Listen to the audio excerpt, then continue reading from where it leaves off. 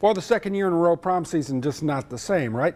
Well, most schools in Acadiana did not have official prom events this year, but the owner of one Breaux Bridge dress shop says she's still seeing some customers. She says last year there wasn't time to plan for a different type of prom situation, but this year people are getting a little more creative.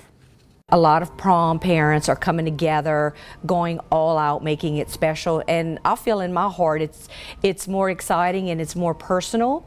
And you can invite as many. And just a little added note: I don't have to do as many restrictions on the dresses that I normally do for school related.